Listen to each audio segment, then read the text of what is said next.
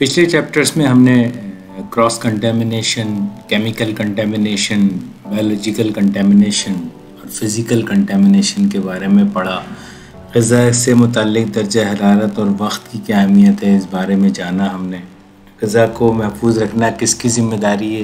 इस हवाले से हमने बात की। आज के चैप्टर में हम बात करेंगे गज़ा पिघलाने के चार महफूज तरीके। ये फ़ूड सेफ्टी के हिसाब से जो फ़ूड की थॉइंग है, गज़ा को पिघलाना है फ्रोज़न फ़ूड को थॉ जो करना है आपने, उसके चार सेफ़ तरीके हैं। उसमें से पहला तरीका हम देखते हैं। सबसे पहला तरीका है कि आप फ़ूड को फ्रिज के अंदर पिघला लें। दूसरा तरीका ये है कि बहते हुए पीने के ठंडे पानी से, धार से, उससे पिघला लें। तीसरा तरीका ये है कि पकाने के दौरान आप फ़ूड को पिघला रहे हैं और चौथा तरीका है कि आप माइक्रोवेव ओवन में गज़ा को पिघला लें। ये फ्रोज़न फ़ूड की हम बात कर रहे हैं। फ्रिज के अंदर जब हम गज़ा पिघलाने की बात करते हैं तो हमें कुछ चीज़ों का ख्याल रखना बहुत ज़रूरी है।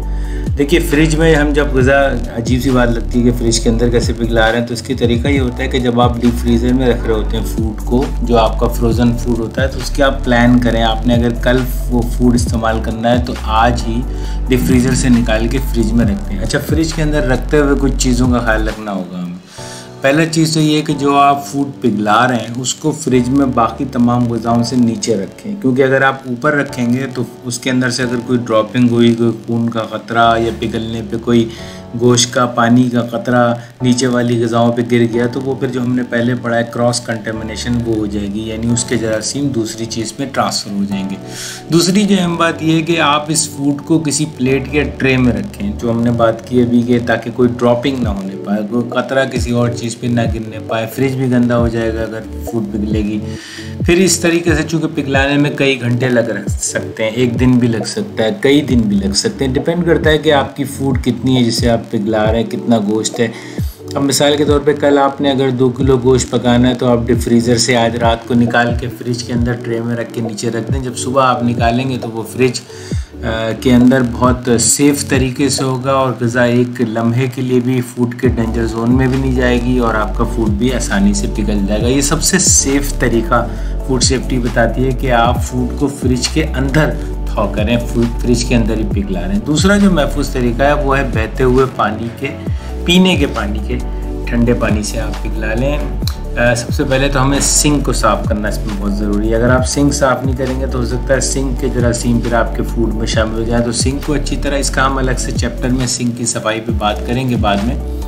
पानी का टेम्परेचर नॉर्मल होगा। नॉर्मल से मुराद 21 डिग्री सेंटीग्रेड से 35 डिग्री सेंटीग्रेड के दरमियान। ना तो ये पानी बहुत ठंडा होगा, ना ही ये पानी गर्म होगा। नॉर्मल पानी जिसे हम कहते हैं टैप वाटर नल का पानी, लेकिन पीने का पानी।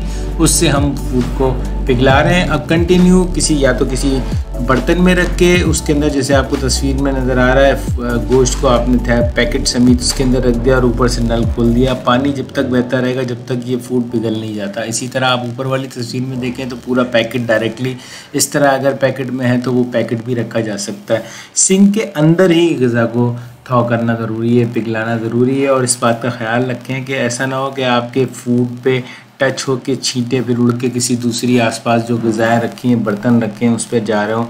तो बात वही है कि आप इधर से जरासीम बचा रहे हैं और जरासीम इससे ट्रांसफ़र हो रहे हैं, दूसरी जगहों पे क्रॉस कंटेमिनेशन हो रही है।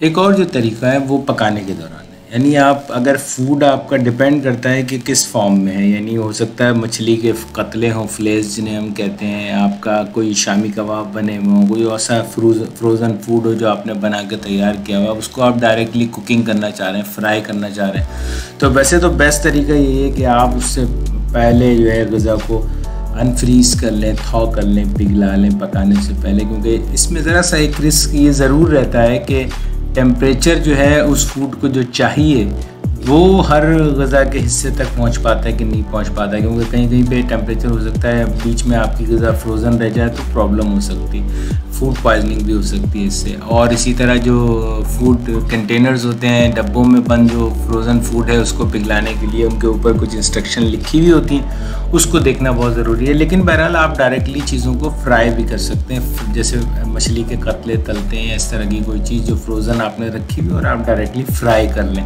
तो तीसरा तरीका है कि पकाने के दौरान भी गज़ा को पिघलाया जा सकता है। चौथा जो तरीका है, वो माइक्रोवेव ओवन का है। ये सबसे लीस्ट रिकमेंडेड तरीका है। और इसमें बहरहाल अगर आपने गज़ा को पिघलाना है तो आप उसके हिसाब से मुनासिब जगह, हरारत और वक्त सेट कर लें। ज़्यादातर हम रीहीट के लिए इस्तेमाल करते हैं।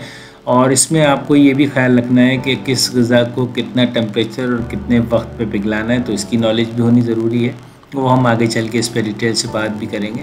अब यहाँ सिर्फ़ एक माइक्रोवेव ओवन में एक चीज़ बता दूँ, एक चीज़ का ख्याल रखें कि गज़ा को टुकड़ों में पिघलाएँ, यानी कि आपने फ़ूड को फॉर एग्ज़ाम्पल मैं एग्ज़ाम्पल दे रहा हूँ, आपने पाँच मिनट का टाइम लगाया है किसी गज़ा को पिघलाने के लिए तो आप पाँच मिनट के बजाय ढाई मिनट का लगाएँ। ढाई मिनट लगा के गज़ा को बाहर निकालें, उसको पलटें और उसके बाद दोबारा ढाई मिनट लगा दें। यानी जो भी टाइम है, उसको दो तीन हिस्सों में डिवाइड कर लें, ताकि फ़ूड जब पलट रहा हो तो गज़ा का हर हिस्सा सही तरीके से था हो जाए। तो ये गज़ा पिघलाने के चार महफूज तरीके थे फ़ूड सेफ्टी के मुताबिक, जो जिन पे आज हमने डिस्कस किया। शुक्रिया।